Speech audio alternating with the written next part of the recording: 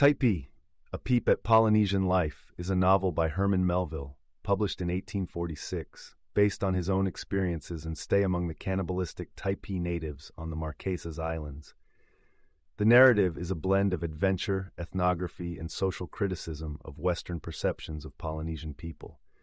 The protagonist, Tommo, and his friend Toby are sailors who jump ship from the whaler Dolly due to harsh treatment and poor conditions aboard.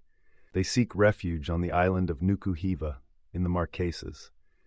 Disenchanted with the oppressive life at sea, they hazard the unknowns of the island, hoping to find a better existence among the natives despite rumors of cannibal entities dwelling inland.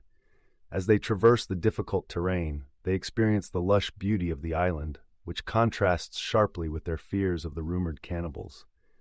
Eventually, they stumble upon the Typee Valley. Initially, Toby is injured, but they continue, relying on each other and the uncertainty of their destination for support.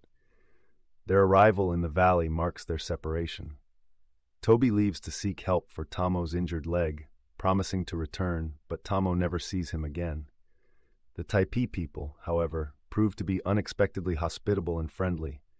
They tend to Tommo's leg and introduce him to their communal way of life, which is free from many of the constraints he had known in Western society.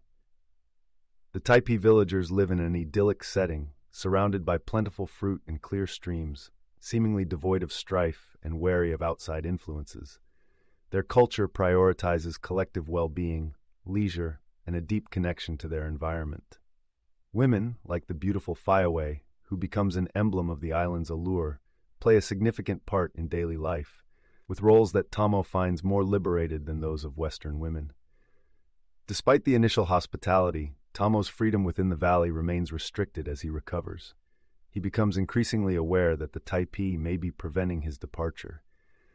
His observations afford a detailed depiction of Typee life, including their body art, rituals, and relationships, heightening the text's exotic allure and the period's fascination with the other. As time passes, Tommo becomes increasingly integrated into the tribe's daily routine, learning their language and customs and forming bonds with the Typee. Yet underlying his integration is a perpetual unease about their rumored cannibalism and whether he might become a victim of it. This tension underlines much of the narrative, as Melville plays with the exotic and the threatening, reflecting prevalent colonial fears. Nevertheless, Tommo is also deeply critical of Western civilization. Through his lens, the reader critiques aspects of imperialism, religion, and industrialization. The Typee, in their seeming innocence and sustainable lifestyle, starkly contrast with the West's environmental destruction and moral hypocrisy. As the months pass, Tommo's desire to escape battle with his growing affection for the Typee way of life, which provides him an emancipation from the materialism and strictures of his own culture. Still, the fear of becoming a victim of cannibalism and longing to return home gnaw at him, compelling him to plot his escape. His opportunity arises with the help of a fellow outsider, Marnoo, who is not a member of the Typee, but is widely respected by various tribes. Marnoo's cosmopolitan nature and knowledge of multiple languages, as well as his ability to travel freely among the island communities, intrigue and inspire Tommo. Marnoo, however, warns Tommo indirectly of the dangers he faces by remaining in the valley and relays vague news of Toby, though he does not assist Tommo in escaping. Tommo later learns from Marnoo that Toby, having left the valley to seek help for Tommo's injured leg, managed to return to the ship and assumed Tommo was killed by the natives, thus did not return to rescue him. This revelation galvanizes Tommo to flee. He finally escapes when an Australian whaling ship anchors nearby. An English sailor named Jimmy from this ship enters the valley.